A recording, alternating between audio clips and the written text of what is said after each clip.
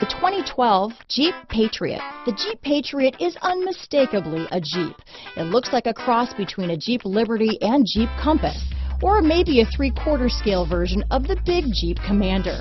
The Patriot has plenty of room inside for any size family. This vehicle has less than 120,000 miles. Here are some of this vehicle's great options stability control, keyless entry, steering wheel audio controls, traction control, anti-lock braking system, leather wrapped steering wheel, power steering, adjustable steering wheel, cruise control, aluminum wheels, four wheel disc brakes, floor mats, rear defrost, front wheel drive, AM FM stereo radio, power door locks, child safety locks, MP3 player, bucket seats.